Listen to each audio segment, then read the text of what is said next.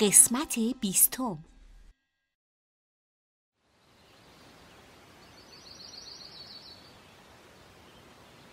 اوی اوی اوی.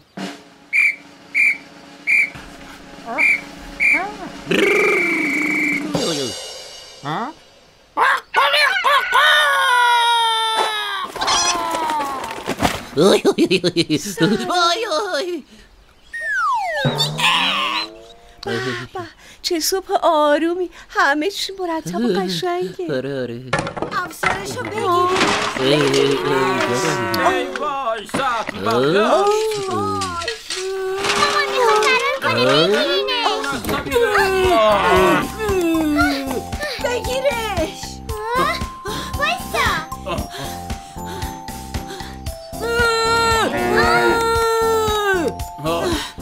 کن. ولش کن بابا چون زیاد دور نمیشه. آه، چرا انقدر بد قلق شده؟ قبلا وقتی می‌خواستیم شیرشو بدوشیم انقدر اذیت نمی‌کرد. این چند وقتی که تو مدرسه ای اخلاقش عوض شده مدام شیطنت می‌کنه. آه، بریم دنبالش. سلام. سلام.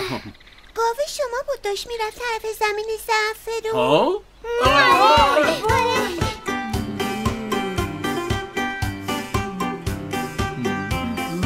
ببینم این همون گوساله گلنار نیست که بزرگ شده گاو شده؟ نه بابا اون الان توی طویلشونه دارن شیرشو میدوشن. آهای اونجا چی کار می‌کنی؟ بیا این طرف ببینم الان میری توی زمین زعفرون رو خرابکاری می‌کنی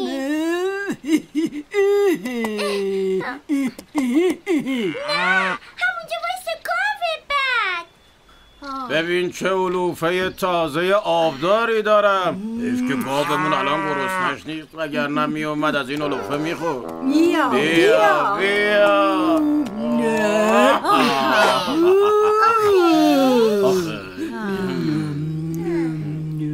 همینو بلده. آره فقط بلده که همش بشینه و بخوره.